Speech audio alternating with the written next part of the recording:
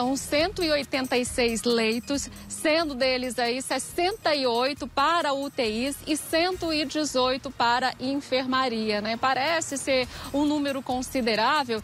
Nesse momento, né, qualquer leito faz diferença, mas diante da fila de espera que a gente tem aí por pessoas aguardando UTI, a gente sabe que ainda está bastante longe, né? A taxa de ocupação de UTIs, né, agora há pouco eu olhei, estava cerca de 97% no estado, né? Isso falando da questão aí dos hospitais públicos, dos atendidos aí pelo governo, e a gente sabe que na rede privada a situação é muito mais complicada. Mas felizmente teremos, né, esse pequeno respiro aí para ajudar a população, ainda mais porque a gente sabe que os pacientes estão ficando mais tempo internados. Por isso acaba dificultando bastante, né? Porque você abre leito, esse leito é preenchido e o paciente não desocupa, porque a maioria das vezes ou ele morre ou então fica ali muito tempo tentando se recuperar. Mas esse hospital lá de Uruaçu, que é o hospital do Centro-Norte, ele foi, né, teve uma, uma dificuldade grande para ele começar a funcionar, então agora vai começar exclusivamente para atender pacientes de Covid. E logo depois que tudo isso passar, a gente espera que não demore tanto assim, aí ele sim vai ser utilizado lá para a população da região norte para atender todas as outras demandas. Mas o governador Ronaldo Caiado falou dessa abertura, né, que vai acontecer agora, é, dessa, desse recebimento dos pacientes e disse, né, que apesar que no não tem mais condição de abrir leitos, né, esse aí foi um esforço muito grande para conseguir colocar em prática. Vamos acompanhar a entrevista com ele.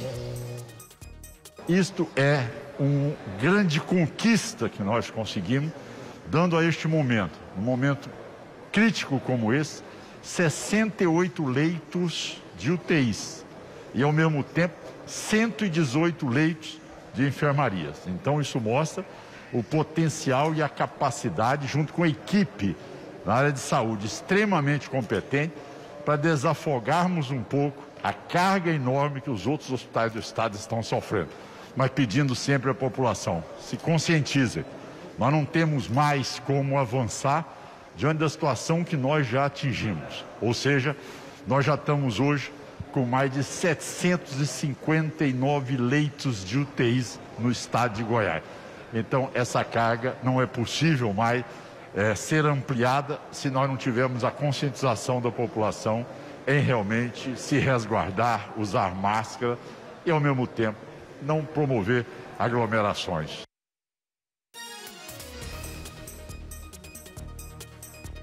É, Marcelo, e aí também, né, o importante dizer que esse funcionamento já é de imediato. Então, o hospital já começa a receber pacientes hoje. Temos uma sonora do secretário estadual de saúde, o Ismael Alexandrino, que conta mais detalhes para a gente. Vamos acompanhar.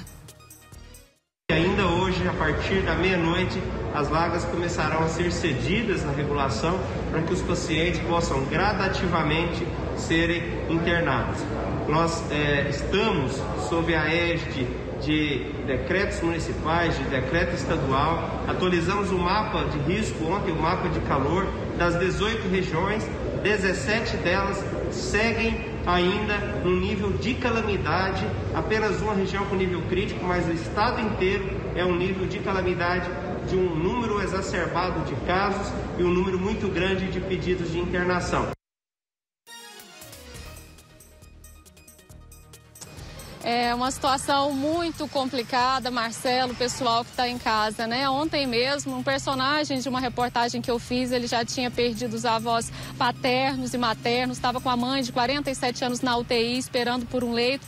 Hoje nós tivemos a notícia que ela não conseguiu esse leito e acabou morrendo também. É muito triste essa situação. Pessoas cada vez mais jovens, como eu disse antes, ficando muito tempo internadas nesses leitos, né? Pessoas aí abaixo dos 50 anos, né? Tá ocupando praticamente quase que 50% desses leitos de UTI, né? Já são quase 450 casos, 450 mil casos em Goiás de, de Covid-19, mais de 9.400 mortos. Então, as pessoas realmente precisam ficar em casa, né? Se não for para trabalhar, não saia, né? Se não for para ir no supermercado, a gente fala isso aqui todo dia, né? Já está até chato, mas como a gente vê que a situação só piora, abre leito e, e mesmo assim as pessoas continuam morrendo, né? A, o medo que a gente tem é que daqui a pouco não tenha mais condição de socorrer essas pessoas, mesmo de um jeito improvisado, porque segundo a Secretaria Estadual de Saúde, essas pessoas que estão aí aguardando na fila de espera, elas ficam ali na sala vermelha da UPA, do posto de saúde, enfim, né, recebendo ali o oxigênio,